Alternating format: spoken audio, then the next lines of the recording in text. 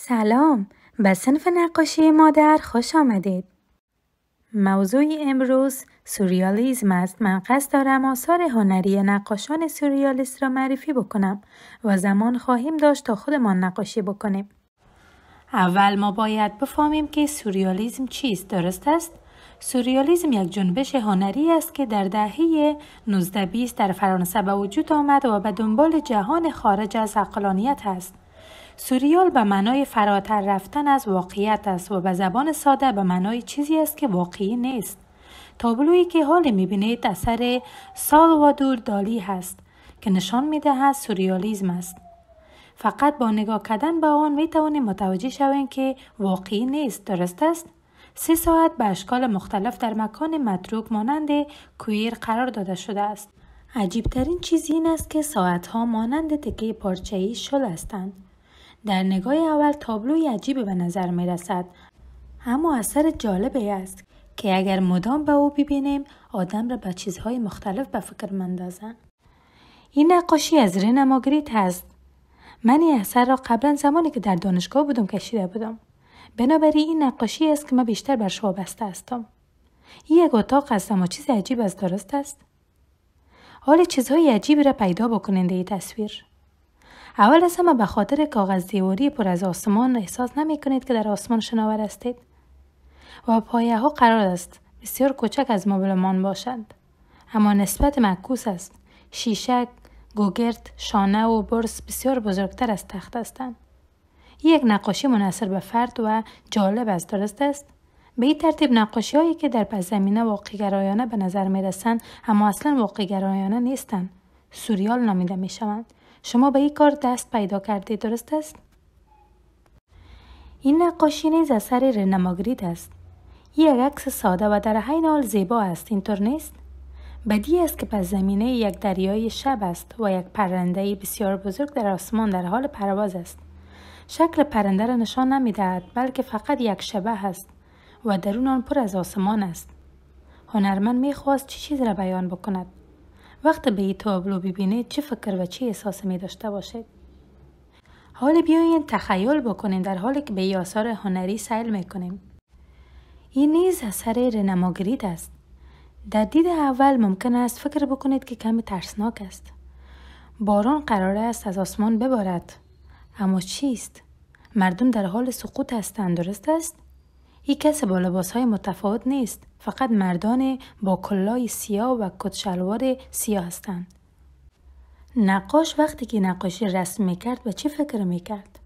من فکر می‌کنم این یک کار واقعا عجیب اما سرگرم کننده است. امیدوار هستم که از طریق کارهایی که امروز به شما نشان میدم بتوانید تخیلات متنوعی را به دست بیاورید. بیایید نگاهی به یکی دیگه بندازیم. به همین ترتیب پس زمینه یک منظره طبیعی معمولی است. اما چی چیزی در وسط آن وجود دارد ابری روی یک شیشه شفاف خوابیده است بدون شیشه من فکر می کردم که فقط یک ابری بسیار بزرگ در آسمان وجود دارد اما به طرز عجیب یک گلاس از آب ظاهر شد و باعث می شود مردم چیزهای مختلف را تصور بکنند. گلاس ها در اصل باید حاوی چیز باشد که ما می نوشیم. اما دیدن ابر در داخل او شبیه یک آب نبات پنبهی می باشد. این یک اثر بسیار خاص و جالب است. شما هم اجازه بتین تخیلاتتان در روی رسم به نمایش گذاشته شود.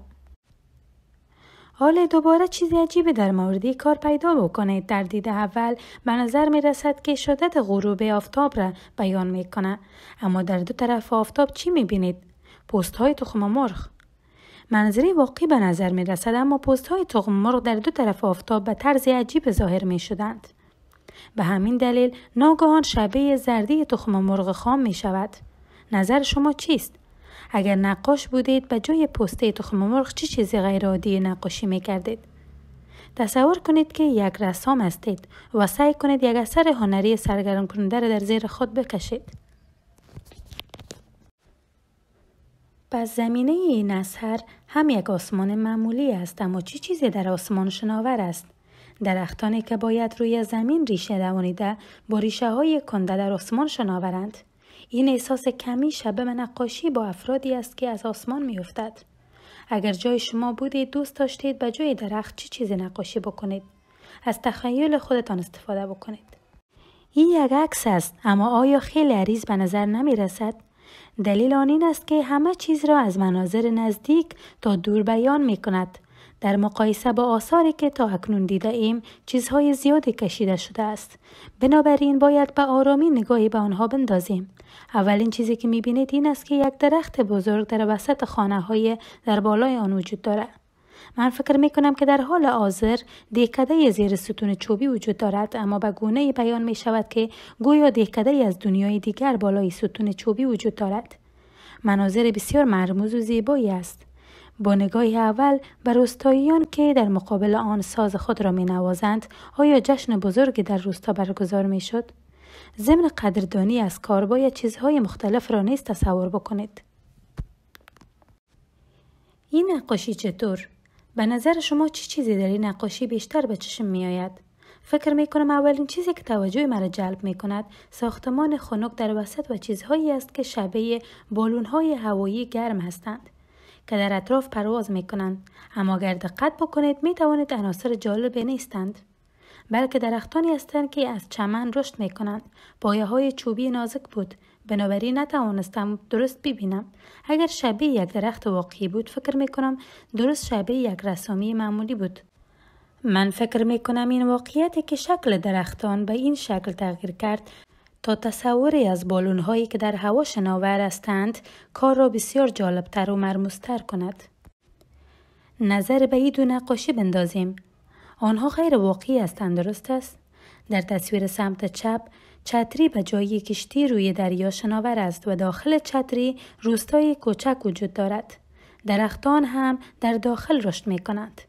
خیلی جالب است که چتری که در واقع کوچکتر از یک نفر هست به اندازه کافی بزرگ است که بتواند یک دهکده را به خود جای بدهد اگر به تصویر سمت راست ببینید پست های تخم مرغ تقسیم شده و داخل پست اقیانوسی در پایین و ابر در بالا وجود دارد کشتی ها در جایی در دریا حرکت می کنند و پرندگان خرد در دست آزادانه پرواز می کنند.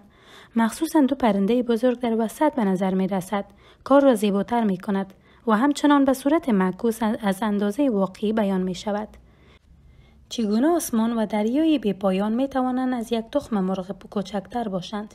منطقی نیست اینطور نیست؟ با این حال هر تخیل را می توان از طریق نقاشی بیان کرد. اولین چیزی که در آثار هنری می بینید چیست؟ چیزی که توجه مرا جلب کردی است که سنگ های روی هم چیده شده و خانه که روی آن ساخته شده است و درخت پالوی او. منطقی نیست که یک سنگ ها خیلی کوچکتر از خانه و درخت بزرگ باشد. و اینکه سنگ ها در روی هم انباشته شوند منطقی نیست. درست است؟ سنگ ها چقدر روی هم چیده شدند؟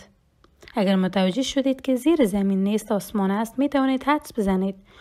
آیا تصور کرده می توانید چقدر در زیر آسمان انباشته شده است؟ اگر فقط یک زمین در پایان این نقاشی بود فکر نمی کنم بتواند این حدس مرموز را القا بکند. اگر به این اثر هنری ببینید منظره عادی از یک دریا به نظر می رسد اما با ظاهر شدن یک پارچه سفید در وسط به منظره بسیار غیر واقعی تبدیل شده است. در واقع یک پارچه سفید نیست. از نزدیک نگاه کن. آیا می توانید مرد را ببینید که روی زمین استاده است؟ می بینید که مسیری که مرد استاده شده است در صخره متوقف نمی شود بلکه به سطح آسمان متصل است. و در انتهای مسیر پرنده سفید را می‌بینید که در حال پرواز است. دیدن به شخصی که استاده است در حالی که به مسیری که به یک پرنده متصل می شود نگاه می کند مرا به چیزهای مختلف می اندیشاند. تصور کنید که در این مسیر در نقاشی استاده اید چه فکر می کنید و چه احساس دارید این هم بسیار جالب است در سمت چپ چهره انسان و در سمت راست ویلون وجود دارد بدون ویژگی های صورت می توانست یک منظره معمولی از یک ویلن در پس زمینه آسمان باشد. اما به ویژگی های صورت به نقاشی بسیار منحصر به فرد و مرموز تبدیل شد. با دیدن این اثر هنری چه حسه به شما دست می دهد؟ فکر می کنم که اجرای ویولن به یادم می آید و این باعث می شود که ذهن آرام داشته باشم مانند زمانی که به اجرای ویولن گوش می کنم. گوش انسان که به طور طبیعی به ساز متصل می شود باعث می شود که من این احساس را بیشتر بکنم. و این اثر هنری چطور به نظر می رسد یک اثر هنری با یک پیام مهم است. زن با لباس آبی آسمانی در یک روز ابری به چیزی می بیند. او به چه چی چیزی می بیند؟ این یک بالون های هوایی هست که در آسمان شناور هستند. اما شبیه یک بالون هوایی معمولی نیست که ما فکر می کنیم. هیچ آدم روی آن نیست. چیز شبیه حصار هاهنی را پوشانده است و پرندگان در درون آن پرواز می کنند. وقتی می بینم پرندگان در قفس فروخته می شوند دلم می شکند. این شبیه به نظر می رسد که پرندگان حیواناتی هستند که برای پرواز آزادانه در آسمان آفریده شدند. و من فکر می کنم واقعا ناراحت کننده است که آنها نمی توانند آنطور که ساخته شدهاند زندگی بکنند. امیدوار هستم بعدا در آن قفس باز شود تا همه پرنده ها بیرون بیاید و در آسمان پهناور پرواز بکند. این نقاش قصد داشت چی پیام را انتقال بدهد؟ وقتی به پرندگان در قفس می‌بینیم یک زن ممکن است به چه فکر بکند؟ از تخیلت استفاده بکن. در آخر بیایید نگاهی به این اثر هنری بندازیم. به نظرم صحنه ای از یک افسانه است. اولین چیزی که متوجه خواهید شد پنجره وسطی است. بیرون از پنجره می توانید ستاره هایی را ببینید که در آسمان زیبای شب شناور هستند. و گلهایی که به جای ستاره های پرتاب می افتد. و همان طوری که به سمت پایین می روید می توانید تغییر آرام به یک چشمانداز زمستانی را مشاهده بکنید. در دو طرف درختان زمستانی وجود دارد و در میان راه می توانم یک کودک خردسال و یک پدر بزرگ را ببینم که ایستادند اما پدر کلان یک نردبان در دست دارد. نردبان به پنجره بالا منتهی می شود می توانم تصور بکنم که دختر و پدر کلانش سعی می کنند از نردبان بالا بروند. اگر از پلاها بالا بروند و از پنجره بیرون بروند چه صحنه جدید رقم می خورد با تصور این که این نقاشی زنده است سعی کنید از نردبان بالا بروید. بسیار خوب. تا به حال ما با تماشای آثار هنری سوریالیزم چیزهای مختلف را تصور کردیم. از آنجایی که من مدام توضیح می دادم فکر نمی کنم که زمان کافی برای شما وجود داشته باشد که آرام آرام تصور بکنید. بنابراین توصیه می کنم که ویدیوی سخنرانی را دوباره به تنهای خود ببینید و با آرامی در خانه از آن لذت ببرید. آنگاه حساسیت و خلاقیت بیشتر خواهید داشت. حال بیایید فعالیت ها را از امی اکنون شروع بکنیم. فعالیت امروز بسیار آسان است. با مراجعه به آثاری که امروز دیدید آثار هنری سوریال خودتان را خلق کنید. اگر خلق کردن خودتان برایتان خیلی سخت است می توانید از برخی از قسمت های آثار هنری تقلید بکنید. با این حال آن را صد فیصد یکسان نکنید. بلکه شکل و رنگ را در حالی که چیزهای مختلف را تصور می کنید تغییر بدهید. به عنوان مثال پس زمینه را می توانید به طور مشابه ترسیم بکنید. اما چیزهایی که در داخل ترسیم می شود را می توانید متفاوت بیان بکنید. اگر هنوز مشکل است نسبت را به صورت معکوس بیان بکنید.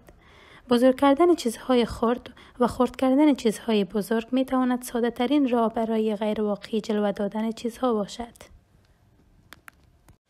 حال سنف امروز را در اینجا به پایان می رسانیم. خدا را شکر می کنم که به من اجازه داد با شما سنف داشته باشم.